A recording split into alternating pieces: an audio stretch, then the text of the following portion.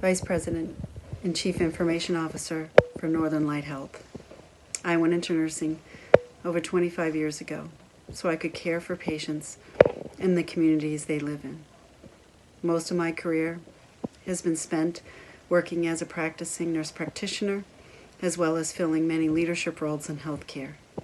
To all of my colleagues out there who have spent many years serving and caring for patients, their family, and the larger community, thank you.